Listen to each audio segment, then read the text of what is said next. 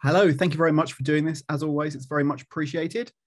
Um, so, um, uh, our first question from our readers is uh, we really, really love the new playset, the new jab, um, sorry, the new book of Boba. Boba, yeah, put my, sorry. I've, I'm in the middle of, got COVID at the moment, so just excuse me, I'm sorry. Oh. Um, so, the Book of Boba Fett throne room looks amazing, and you've done a fantastic job on that. Uh, questions from our readers are Will the previously released Jabba's Throne with Dais and Jabba's Palace Adventure set connect with this and work with this playset? Yeah, thank you for this question. This is um, a great one and one I'm happy to shed some light on. Um, so the the previous release, the 2010 uh, Jabba's Dais, it's definitely been in my collection for a while. It's been chilling like right over on the edge of the shelf over here for years. Um, it the great thing about it is that everything in this set was repositionable. Everything yes. in the new set is repositionable. So honestly, it's going to be super easy to take the pieces from the top of that dais, set them right on top of this dais. Nothing in the new set is fastened down in a permanent way that would prevent any kind of reconfiguration for a scene from other eras. Brilliant. And what about the uh, the the Jabba's playset that you put out a couple of years ago, the adventure set? Uh, the adventure set. So for this one, we did take a look at if we could get it to physically connect to the side of this one. Unfortunately, there's such a height difference because this one is able to offer the floor with that elevated stair piece up to the back balcony. So it was difficult with the height difference a little bit to make them physically connect. But what I can share is that we thought about putting these on the shelf next to each other. We really like, we looked at the sculpture of it, and the old one had this incredible crumbled texture across the top of the walls and the wash deco and the cracks and textures. We took that sculpt inspiration and that deco inspiration, and we tried to make pieces that are going to look really great, even sat on the shelf next to each other, though they may not physically connect. Fantastic. Thank you. Awesome. And James, just you know, sorry to hear about that. Obviously, our yeah. thoughts go out to you. Thank you. Thank you. Absolutely. James, back to you. We love all the new playsets coming our way, but without additional characters, they remain sparse.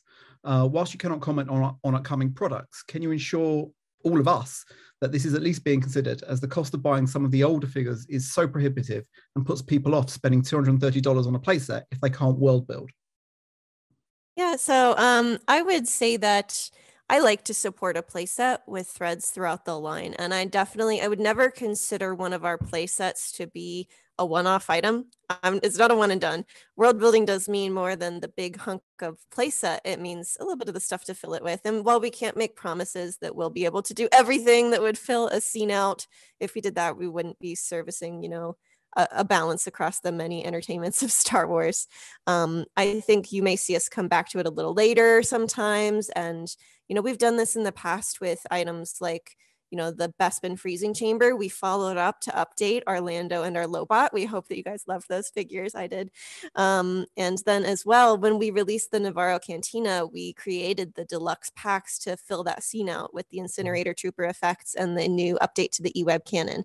So it's something that I'm thinking about is trying to tie those threads across the collection so that there's more than that one-off item. Um, it's definitely on our minds. Ugnaughts are needed for that carbon Bespin chamber. I do hear you on that. awesome. Just a reminder that these questions came from our readers and not necessarily from me. Um, okay. so, um, Toy Fair would normally be happening at this time of year, and we'd see a plethora of reveals across all the lines. Um, yesterday, we had our first event of the year, first fan event of the year, and we got seven reveals. So, what gives? Um, hopefully, one of those reveals uh, was you know, punched above its weight a little bit. Um, I think in short, this live stream wasn't meant to take the place of Toy Fair. And certainly we're in a different place than we were two or three years ago when it was kind of Toy Fair and then nothing else for several months. Uh, you know, we had several bonus bounties reveals over the past several weeks. We have more coming, uh, which is exciting. Um, and, and, again, we've moved, you know, independent of the pandemic to ensuring we have news for for the community throughout the year and not just, you know, those those big two to three times a year. So I guess what I would say is, you know, once we get through the first three months of the year or whatever, uh, if we can compare the amount of reveals and the amount of news to what we would have done at Toy Fair in the past, I think it'll be comparable. Okay, thank you. James, what have you got? Nice segue into the Amazon Bad Batch four pack. Um, there's lots of us that still need that, and we know that restocks are coming. Can you give us an update on when they're coming, please? Yep, absolutely. So, you know, obviously we all know that item went on pre-order last year, sold out quickly. Um, those original pre-orders should be shipping the end of this month. Um, we announced at that time there would be additional stock available. That's still the case. Again, this is one of those state of the world things. We now do expect that additional stock to be later this year. Okay. Uh, so that's been delayed a little bit, but there's there's no change in the plans for that to eventually be available. Thank you. Uh, the Razor Crest has started to ship um, in the US. I don't think it's shipped yet in Europe and the UK. I just wondered whether you can give us an update, whether you expect them all to, sh- to ship within the next couple of weeks or, yeah, just an update, please. Yeah, no, absolutely. We're excited. You know, I was, I was hoping to have mine today to, to display behind me. I was going to stay up late last night, but um, you know, we're, we're excited about it. Hopefully, you guys saw the unboxing video by Chris, the designer. Uh, it's the ship's a work part. His uh, the video is great.